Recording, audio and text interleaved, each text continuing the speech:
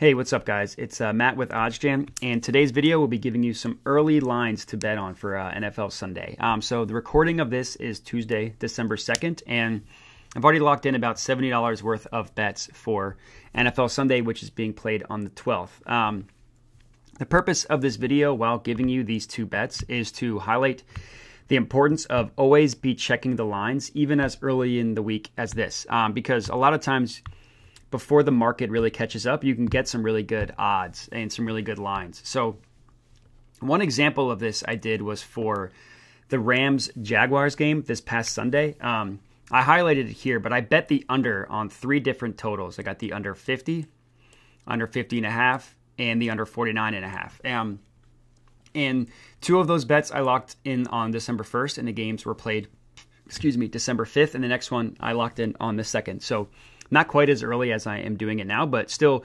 days before the game started. Um, and as you can see, all three of those bets hit. Only in, in two and one of the three ended up not being better odds in the closing line, but it still hit, so it's okay. Um, so you'll see a lot of times these uh, odds makers when they in you know the betting sharps out there when um, a line is first posted and they'll show you the movement a lot of times it's situations like this where the sharp bets, uh, the sharp people, the people that use OddsJam um, will just hammer a line when it's first posted, and then it'll kind of fluctuate from there. So we saw that with the total yesterday and the Monday Night Football game. Granted, that was weather related, but you saw the total plummet. I think it ended at about 40, 40 and a half, and it still went under. Um, but uh, the first one of these bets that I want to highlight, uh, the higher positive expected value, is this Chargers versus Giants. Um, so you can get this on BetMGM at minus 110 odds, and it is just the game under 45 and a half. Um, so the OddsJam perfect line has this at minus 127. So if we take out the VIG, it's minus 127 plus 112. It has the perfect line at about minus 118 with the VIG removed, and we're getting that at minus 110. So that's where you get about the three and a half positive expected value. Um, based on my bankroll, I, I put uh, about 40 on this. Um, and I think it's a good bet. I mean, if you look at the Giants' schedule, um, one, uh, Daniel Daniel Jones is out, and last week, uh, the last game they played with him out, they scored a total of nine points. Uh, the week before that, against the Eagles, uh, who not a great defense, with their starting quarterback, they scored 23 points. The week before that, they scored 10. 23 which is a little bit better, and then 17, you know, 11 against the Rams, 20. Um, so this Giants offense, to say the least, is not good. Um, you know, two, the, the three of the past four weeks, they've failed to produce more than 13 points. Uh, week before that, they only put up 17. Um, so they don't have a good offense, and especially with their quarterback banged up, uh, Daniel Jones. As of right now, I believe um, the word on him is unsure, but it's possible that he might even miss the season. And the, last I heard, I believe he's getting another MRI to see how bad the strain is. So this is a game where I don't expect the Giants to put up a ton of points. Um, and while the Giants' defense isn't great, uh, they're not. I wouldn't say they're quite terrible. And the Chargers' offense is pretty hit or miss. So if you look at the Chargers' schedule, they'll have some games like that last week where they put up crazy point totals. Like they put up 41 against the Char- um, the Steelers, 41 against the Bengals. But then uh, last week, two weeks ago, they put up 13 against the Broncos. Um, they had a game against the Ravens where they put up six. They, this game against the Patriots was a little bit closer than it looked. Um, and then even this game against the uh, Raiders back in October, uh, they had a really slow start and they really didn't come on in the second half. So you'll see uh, the the Chargers offense being hit or miss. And while I don't expect them to you know have a game where they only put up 13 points, I don't think they'll put up over 25 uh, or even close to 30. And based on how the Giants' offense is projecting, um, that makes this over, or excuse me, this under a pretty good play. So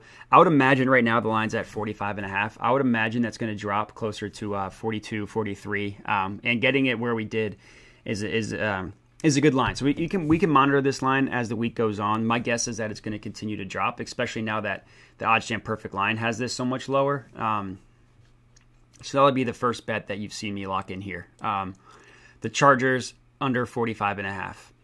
Um, the next play is also on BetMGM, and that is going to be this Browns versus Ravens. Browns first half money line at minus 120. Um, So this one has about 3.2% positive expected value. Um, I put about 30 bucks on it myself based on my bankroll. So if we want to take out the VIG, we got it at minus 120. Uh, looks like the OddsJam Perfect line has this at minus 136. So minus 136 and plus 121 puts the true odds at about minus 127.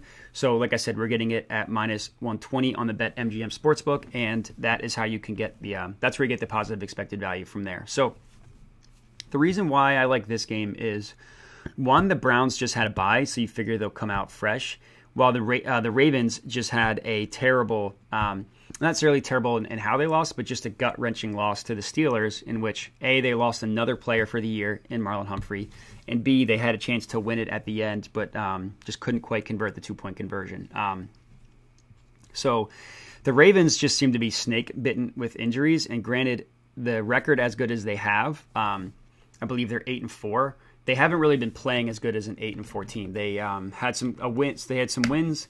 They've been extremely lucky to um, to to get. So one of them uh, this Bears win. Granted, that was without Lamar Jackson, but um, I mean, they had to come back at the very end to score and win that game. Uh, this game against the Browns was a terrible game. I mean, they, they just played and they were only up six to three at halftime. Um, you figure another week healthier for Baker, uh, another week healthier for Kareem Hunt. That the Browns should play a little better than they did that game. And then last week, um, as as I said, they lost to the Steelers, and you know that banged up not necessarily banged up, but just struggling offense. Um, and you know they beat the Vikings in OT. They they had a really poor showing against the Dolphins. Uh, they got lucky to beat the Colts. They got lucky to beat the Lions. Um, you know that that Chiefs win was a good win, and then they uh, lost to the Raiders in overtime. So despite the eight and four record, the Ravens aren't quite as good as an eight and four team.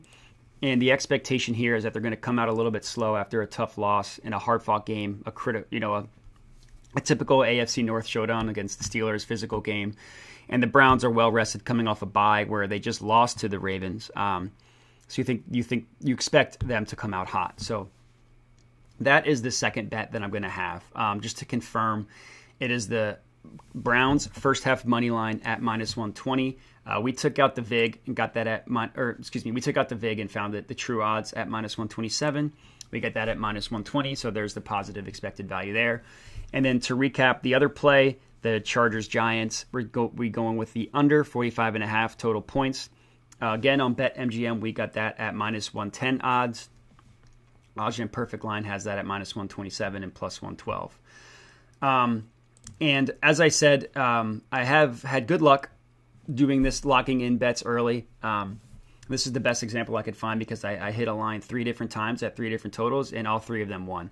Um, so I love getting on early lines like this. Um, it's, a, it's, a, it's a sharper way to make money betting on sports, and um, and yeah, so that's all I got for you. Um, just to give a little recap, so positive EV betting has has been good for me. I've profited almost about four grand from it. Almost all the bets I do now are only positive expected value. As you can see, these three totals are dwindling compared to positive EV. Um, and this is just part of the strategy that I use to make sure that I consistently profit. Over all time, I'm at about 4,400. Um, so uh, that's going to be the video today, just highlighting the importance of early bets, and um, and I gave you two sharp ones. Um, again, Browns first half money line against the Ravens, and I forgot to mention the Browns are at home. That's one point that I forgot to mention, and then the Chargers Giants under 45 and a half total minus 110 odds. Um, so that's all I got for you today.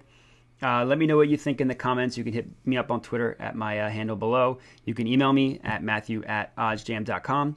Uh, or you can just comment on this video. I'll make sure to check out those as well. Uh, but that's all I got for you. So happy betting, happy watching, and good luck.